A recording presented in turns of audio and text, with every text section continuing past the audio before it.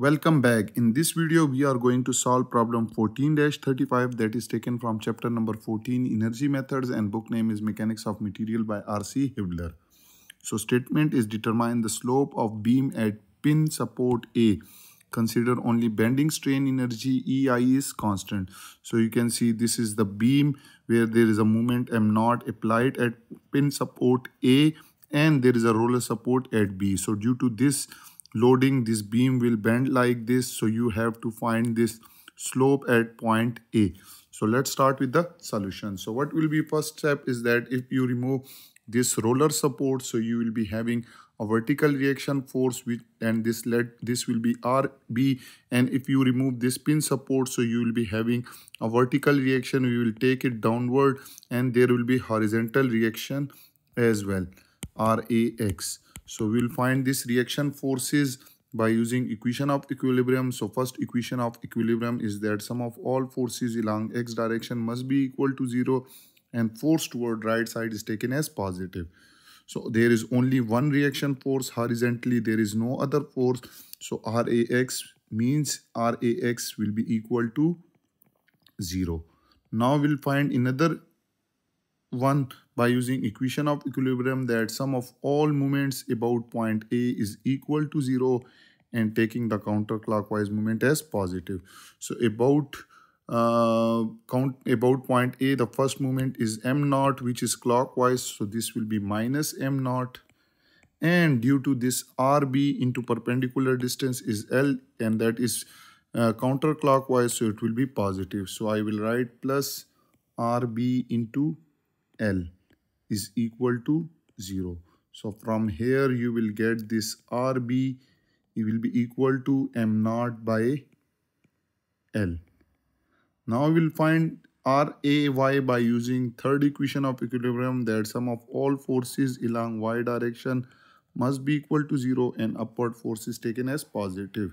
So RAY is downward so minus RAY plus this RB which is M naught by L is equal to 0. So from here we will get RAY will be equal to M naught by L. Now you have these reaction forces. So what we are going to do is that uh, you will cut the beam at any length. So we will cut it. So I will take the right side portion and we will take this distance as X clear and we will draw the free body diagram and the x is greater or equal to 0 and less or equal to L. So what we will do is that we will take this beam, the portion, this is RB which is acting upwards, so it is M naught over L.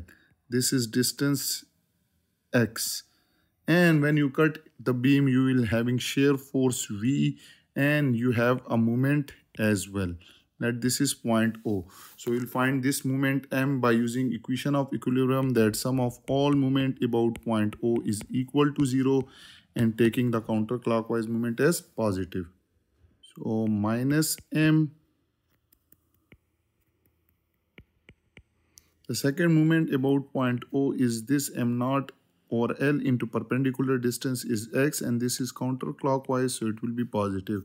So I will write plus m naught over L into x is equal to 0. So from here you can see that this moment will be equal to m naught x over L. So this is the moment equation. Now what we will do is that we will we, we have been given only bending strain energy. So we'll find bending strain energy. So bending strain energy we know that this is equal to m square dx over 2ei. So just put the value of m. So from 0 to L, m square is m naught x over L whole square into dx divide by uh, divide by 2ei.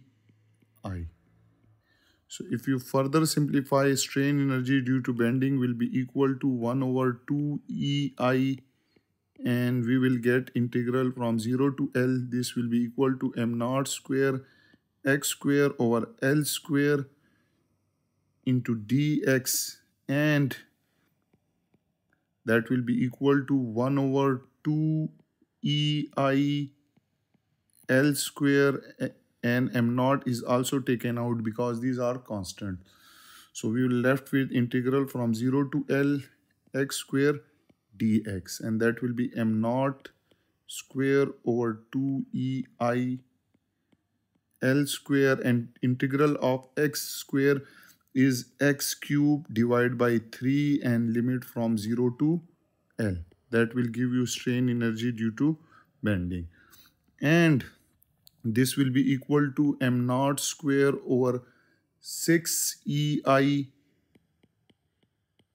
L square and this will be equal to L cube minus 0 cube so it will be L cube and this will be equal to m naught square L over 6 EI. So this will be bending strain energy. M naught square L over 6 EI is the bending strain energy and we will note it. Now you can see that due to this external movement M naught, this beam will bend like this. There it will bend like this. So what we will do is that we will find this slope at point A. So we know that due to external moment M, due to M naught, due to external movement M naught, the strain energy external will be equal to 1 over 2 times M naught into theta A.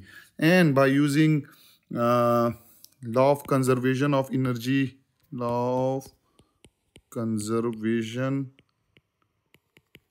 of energy this external uh, bending uh, this external movement will produce strain energy that will be stored in the beam which is this one so ue will be equal to ui due to bending putting the value ue is 1 over 2 m naught into theta A and U strain energy due to bending we calculated it is m naught square L over 6 E I.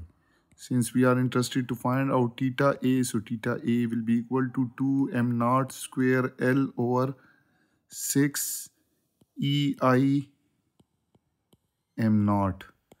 And if you further simplify it, you will get slope at point A is m naught L over 3EI